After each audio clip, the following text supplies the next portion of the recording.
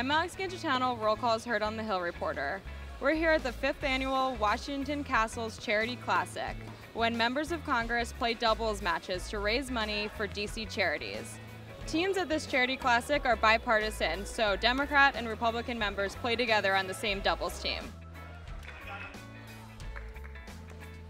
Votes ended um, a little earlier than expected, so we were able to make it. There was some question whether we'd be able to make it at all, but I'm looking forward to playing with my Virginia colleague, uh, Bob Goodlatte. We played together uh, before uh, casually, and I'm looking forward to a great match tonight.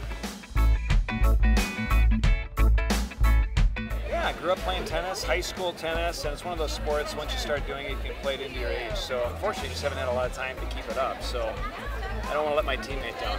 So uh, this time I'm teamed up with uh, Cheri Bustos, so I'm pretty excited about that. She's going to carry us.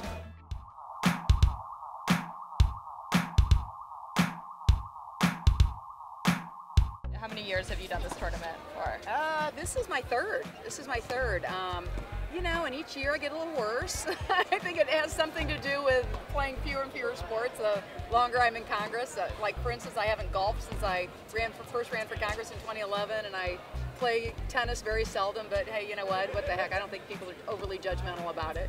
I never took a tennis lesson until I was about close to 50 years old. And uh, so I am, I am average at best, but I'm willing to give it a try. So, you know, like I said, who cares?